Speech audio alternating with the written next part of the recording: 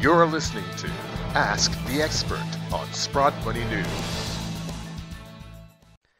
Thank you, listeners, for joining us today on Ask the Expert. My name is Nathan McDonald, Sprott Money News, and we are very excited to have the pleasure of speaking with Peter Schiff this morning. Peter Schiff is CEO and Chief Global Strategist of Euro Pacific Capital Inc. As an internationally recognized economist and financial analyst, he is known for spotting trends long before mainstream analysts and his vocal views on the economy and financial markets. He's a radio host of the U.S. nationally syndicated Peter Schiff Show, heard daily at schiffradio.com. His latest book is How an Economy Grows and Why It Crashes, the collector's edition. An updated economic parable he co-wrote with his brother Andrew Schiff. With this, I am pleased to welcome Peter Schiff. Good morning, Peter.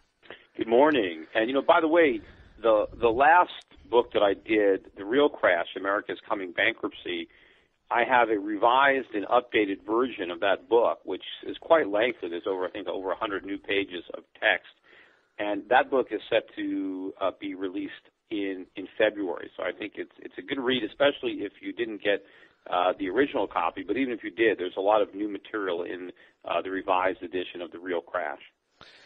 Great. We'll have to keep our eyes out for that. Um, Peter, as you know, Janet Yellen was recently confirmed as the new Fed chairman. She begins her new position starting in February. Many experts are predicting that Janet Yellen will be even more dovish than Ben Bernanke. What is your opinion on Janet Yellen? Well, this is an instance where the experts are probably right. Uh, I, I do believe she'll be more dovish. Uh, if you know, some people might think, how is that even possible? Uh, well, because I think the circumstances uh, will force her to adopt that that position. But you know, I think the interesting thing about this, uh, you know, the Yellen coronation and you know the, the, the circumstances is you've got Ben Bernanke is leaving at a time where everybody is convinced that he did a wonderful job. He was the savior of the economy. Uh, he had the, the right policy. He was the right man at the right time. I mean, what a great, uh, you know, fortunate situation that the guy that was an expert in the Great Depression just happened to be uh, Fed chairman right when we needed him because, you know, it might have been a repeat of the Great Depression had he not been so smart and so learned. He knew exactly what to do, and everything is great because Janet Yellen is a protege. Janet Yellen was by his side, and after all, Janet Yellen was the one person that saw the housing bubble, right, when nobody else did. This is all a, a, a fairy tale, but it's very reminiscent of the way Wall Street and the media looked at Ben Bernanke when he replaced Alan Greenspan because Alan Greenspan left in 06, right? The bubble hadn't burst yet. Everybody still thought he was the maestro. Everybody held Alan Greenspan in very high regard. They were praising what a great tenure he had because, you know, he had been Fed chairman since 87 and everything was great and everybody was excited because they believed that Ben Bernanke was going to follow the successful policies of Alan Greenspan. And what happened? You know, two years later, the 2008 financial crisis, the world blew up. Uh, and the problem was that nobody really understood what a lousy Fed chairman Alan Greenspan was, because all the things that he did laid the foundation for the 08 financial crisis. Well, Ben Bernanke has been even worse than Alan Greenspan. And the policies that he pursued are going to blow up on Janet Yellen in an even more spectacular way then the Greenspan policies blew up on on Bernanke. And so everybody is optimistic. They think everything is great, just the way they did in 2006. They have no idea what's coming because it's going to be much worse than 08, and it's going to be met with much more inflationary monetary policies coming out of Yellen. And if you can imagine, as bad as Bernanke and Greenspan were, they were Republicans. Yellen is a Democrat. You know, so this is not going to be an improvement. So it, as bad as it was, it's going to be that much worse. So you think it's going to be Ben Bernanke on uh, hyperdrive? Yeah, well, Ben Bernanke, you know, not, not maybe not as steroids, but uh, but yeah, it's the same policies, and and uh, Janet Yellen is a real Keynesian, real you know, believing in we we got to print money, we've got to create jobs, we got to help the unemployed, and, you know, she thinks that the way you do that is to create inflation, although, you know, they're not going to call it that, but she is, you know, she's going to sacrifice the dollar because she thinks that that's where the econ- economic growth comes from. I mean, she's going to try to keep people spending. She's going to try to satisfy all the Democratic constituencies and special interest groups, and it's just going to be uh, pedal to the metal. And of course, everybody is now convinced that you know you can print as much money as you want, and you don't have to worry about inflation, which of course is ridiculous because that is inflation. But according you know to what's happened recently, right? We've had all this quantitative easing and people like me were criticizing this and said, look, this is inflation, this is bad, right? But since the government has been able to fool everybody with the CPI into believing that there's no inflation, and because we've been able to export a lot of that inflation to the emerging markets that trade us their goods for our inflation, our paper money, everybody is now convinced that there's nothing, there's no downside to QE, that we can print all the money we want, and those of us who were worried about it a few years ago, well, we were completely wrong. Because look, we've been proven wrong by by the statistics. So there's going to be no objection whatsoever to doubling down, tripling down on QE. I mean, 85 billion a month is nothing. Wait till Janet Yellen is doing 150 billion a month or 200 billion a month in money printing. You know, because you know whatever they do, if it doesn't work, which we know it won't work, right? You can't grow the economy by debasing the currency, right? So it's like throwing gasoline on a fire. The more QE they do, the, bigger the fire gets. So they're going to do even more because that's all that they've got. The only thing Yellen can do is print money. She can't lower interest rates because they're already at zero. She is starting off. She's being handed 0% interest rates. So the next crisis that happens, there's no rate cutting because rates are already cut to the bone. All she can do is expand the QE program that everybody believes the Fed is about to taper. Not a chance. I mean, even if they do a trivial taper, uh, I mean, it's not going to last long because they're going to have to undo it pretty quick. Because the only reason the economy looks like it's recovering on the surface is because it's a bubble. And it depends on an increasing amount of QE, not even the same amount. You can't even sustain this bubble with 85 billion a month of QE. It's going to need more, just like any you know any drug addict. You know, you build up tolerance. So if you want to stay high, you need more and more drugs to maintain that that high. Well, the U.S. economy needs more and more of a QE drug to, to stop it from imploding. But of course, the problem is eventually you OD on it, and the dollar crashes, and then you have an even worse crisis, which unfortunately is the one that's coming. Which that leads me to my next question, Peter. So until recently, um, obviously the Fed was doing its double speak and it was saying taper on, taper off, taper on, taper off. Now, um, they announced that there is a, it's a taper. It's obviously not anything that great. Um, it hasn't even begun yet, but the market seems to think everything's going to be okay as soon as they do taper. And like you were just previously alluding to, so do you think Janet Yellen will allow that taper to happen, or do you think she's going to come up with another strategy to compensate for it? No, no, she's going to call it off, but she's going to try to think of an excuse as to why. I mean, we're going to have some economic data that is going to disappoint. Everybody is looking for good news, and when, when they don't get it, the Fed is going to have to act surprised and say, well, you know, we were planning on tapering, but since, you know, this happened, and maybe they'll find some something to blame it on. Uh, they'll say, well, we weren't we were surprised by this, and so you know because the Fed is claiming they're data dependent. The Fed isn't saying we're going to taper no matter what. They're saying we're going to taper as long as the data supports it. So they leave themselves an out, which they know they're going to use. The data is not going to support the taper. Whatever the data is, the Fed's going to rationalize why it doesn't support it because they know that if they withdraw their monetary props, the economy will collapse because what they've created is not a real recovery that is sustainable. It is an artificial, phony recovery that will go away the minute the Fed stops supporting it. Of course, it'll go away eventually, even if the Fed does support it. But you know, they're more concerned about the here and now, not what's uh, in the long-term interest of the economy. So they are not going to uh, follow through with their plans of, of ending QE. I mean, I think the Fed knows that, but the maybe what's almost as scary for the Fed is tapering, uh, is admitting that they can't do it, because that'll that'll be the end of the party. Everybody just assumes that we can go back to normal, that we can have normal interest rates and the Fed can shrink the balance sheet and the economy will keep going. That's impossible. You can't do that any more than, you know, you, you, you, you can take away oxygen and, and, and expect, you know, humans to, to continue to breathe. They, they can't. So when people realize the phony nature of the recovery and that it's it's only temporary and it's not real and it's all because of QE, then they stop factoring in an end of it and they realize that it's just going to get bigger and bigger and bigger. And that's a game changer. It's a game changer for the dollar. It's a game changer for treasuries. It's a game changer for gold when people wake up to the reality. Because right now, they're all living in a delusion.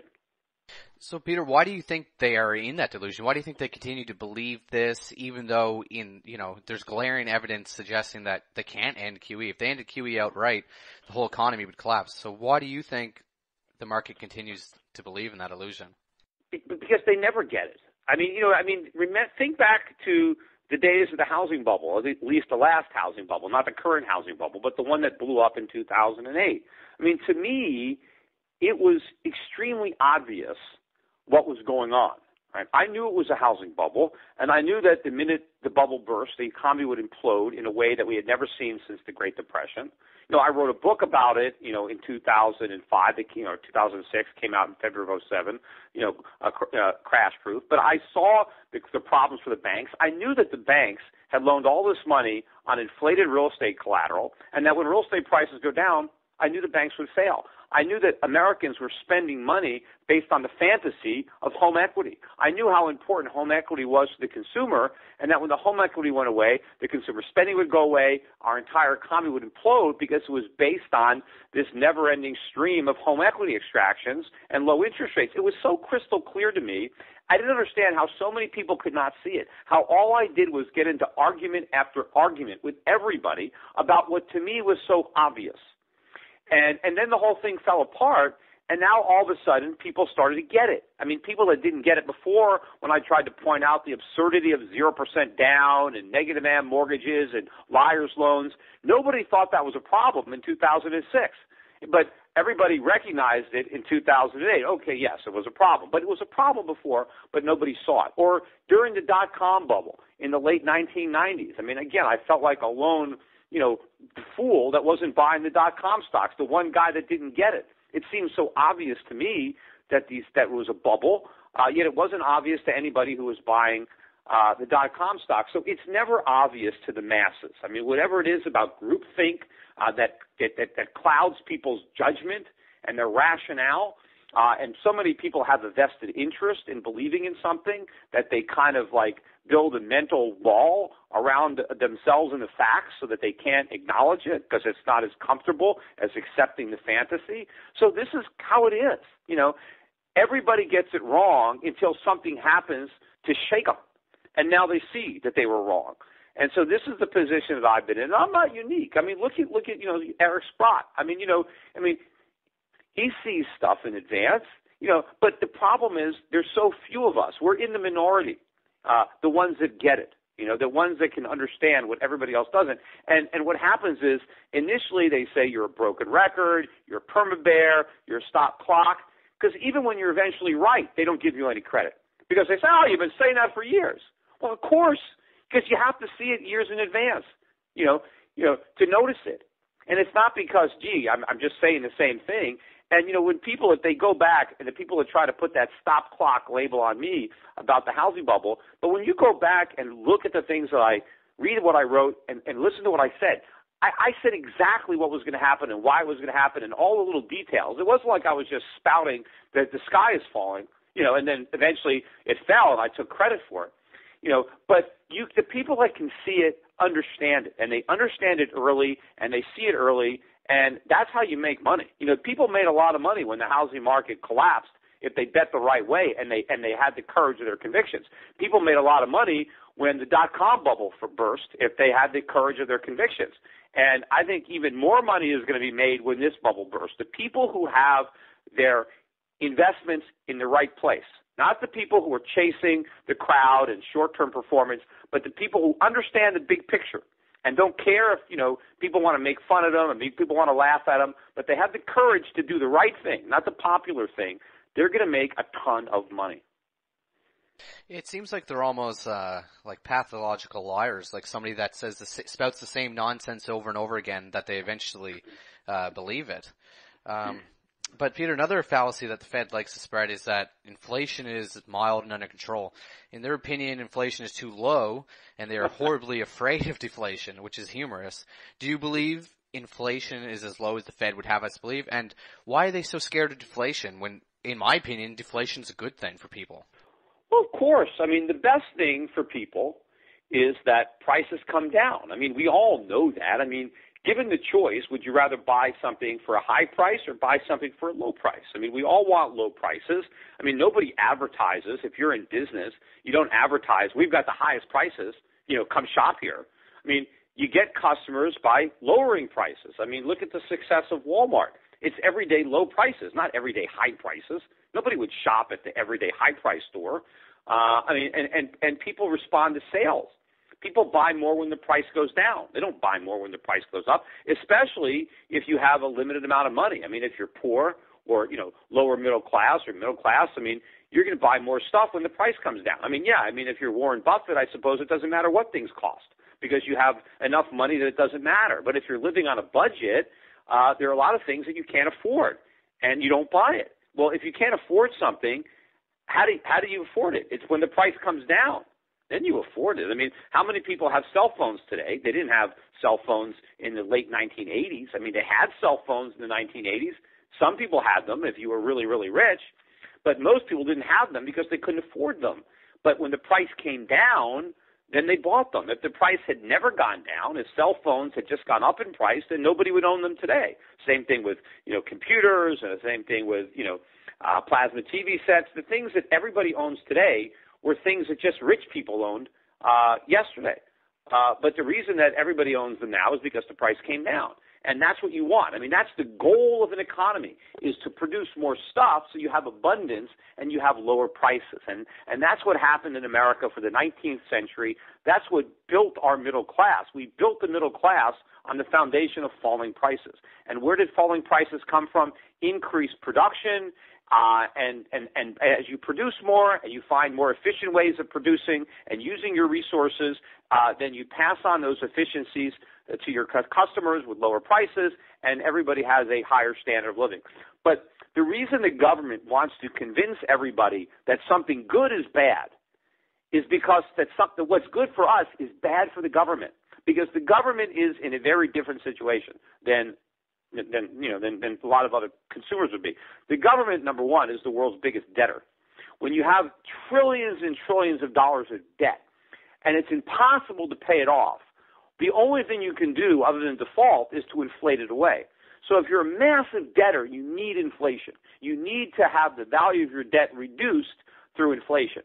So what you need to do is convince the public that inflation is good for everybody, but it's really good for the government. The government also is trying to keep the economy propped up with cheap money and 0% interest rates. Well, the only reason the Fed can justify 0% interest rates is by saying there's no inflation. If the Fed acknowledged that inflation was 3 or 4 or 5%, they would have to raise interest rates because they can't say that that's an acceptable level of inflation, that the Fed is willing to tolerate that. So the only way that the Fed uh, can get away with keeping interest rates as low as they are is to pretend that inflation is a lot lower than it really is and to pretend that the threat is deflation.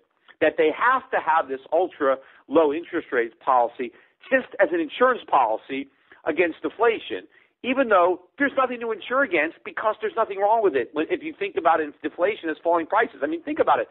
If prices, you know, we have, according to the Fed, according to the government, inflation is running at 1 or 2% a year which is too low because it, it, we're too close to the danger zone where prices might actually drop by a half a percent a year or a percent a year. But what is wrong with that? Well, according to the Federal Reserve, if prices are going to drop by 1% a year, nobody will shop. Everybody is going to stop consuming, which is such a bunch of nonsense. Like, if there's something that I need and that I want to buy and it's a $100, Am I going to say, you know, I'm not going to buy it for a year because next year I can buy it for $99? Nobody is going to think like that. At the same time, does somebody think that 2% inflation, the magic number, is going to cause me to buy something that I don't even need? hey, here's something that costs $100. I don't even need it. I might need it in a year, and it might cost $102 in a year. So I'm going to rush out and buy it right now. Nobody does that. This is all nonsense to try to say that you know the economy would implode if prices went down by 1%, but it's great if they go up by 2%. I mean, this is nonsense, but the Fed has to create this. And the other thing what the other thing that the government needs is the government has all kinds of obligations. Not only do they have bonds, but they have obligations, Social Security, Medicare. They don't want to tell people on Social Security that we promise more than we can pay, we have to cut your benefits. So the only way they can politically cut the benefits, right, in a way that you know doesn't backfire them, is inflation. What they have to do is inflate away the benefits that they don't have the guts to legislate away. So we have all these reasons that the government wants inflation. Of course, Wall Street loves inflation, so they don't want to spill the beans. They're making a fortune off inflation because they get to get all this money cheap from the Fed, and then they use it to buy assets. And so they, they get rich. I mean, there's always some people getting rich off of inflation. But the problem is somebody else is getting poor to, to make it possible. And the people who are getting bled dry are the middle class and the poor who are getting killed, and of course the whole economy. And as the Fed does this, and the government does this, you're going to have social and political unrest because you now you widen the divide between the haves and the have-nots. You get this 99%, 1% or 0.1 percent, and now you know the society can break up because there's all this resentment and envy, and and and a lot of the concern is justifiable, but they they're they're not blaming the right people. They're going to they're going to vilify the success you know the people who are successful. They're not going to understand it's the system that's doing it. And what the system is is big government central banking cheap money. That's what's destroying the fabric of society. But they're not going to know that. They're just going to blame it on some rich guy that leads me to another thing peter um, a lot of people just they don't want to believe the truth they're so dependent on the system now that they they need to believe that that is the truth well, why would you want to believe the truth when the lie is so much better? Exactly. You know, it's so much so easier. Much, it's so much more comfortable to believe in the lie. It's just like, look, what's easier for a little kid to believe in Santa Claus or that there's no Santa Claus?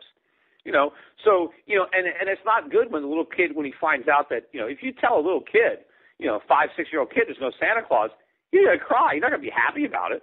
You know, he doesn't want he doesn't want to be told the truth. It's much better to believe in the fairy tale, right? Because it's fun. And so, you know, nobody wants to know the truth, least of all the politicians, because they, they don't they, they don't want to have to level with the voters.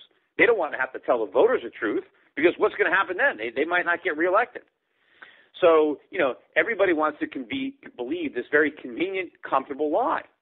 And as long as the lie is going, everybody's making money. Look, how many people were making money in the real estate market before the housing bubble blew in 2008, right? People were making fortunes. People were buying second homes, third homes. I mean, all these real estate millionaires. You know, they they they were making a ton of money. You think you think they wanted that party to end? People wanted it to go on forever. The same thing in the dot com. Remember all the dot com millionaires, all the twenty somethings that were instant millionaires when their money losing, you know, dot com went public.